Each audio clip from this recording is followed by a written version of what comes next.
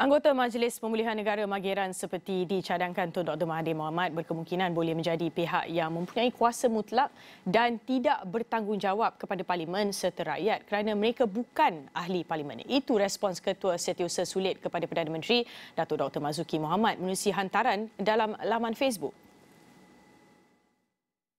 Marzuki menjelaskan disebabkan mereka yang dipilih itu bukan ahli parlimen, mereka tidak bertanggungjawab secara kolektif kepada kawasan parlimen. Begitu juga mereka bukan ahli politik dipilih rakyat yang menimbulkan kemungkinan tidak bertanggungjawab terhadap rakyat.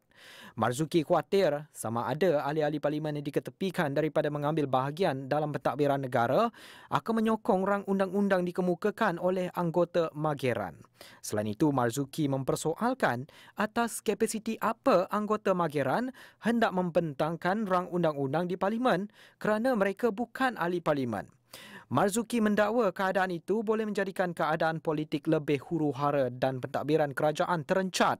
Jelas beliau, kemungkinan bajet pun tidak boleh diluluskan dan kerajaan tidak mempunyai wang untuk dibelanjakan bagi membayar gaji, melaksanakan projek pembangunan, membayar hutang dan membiayai program kebajikan rakyat.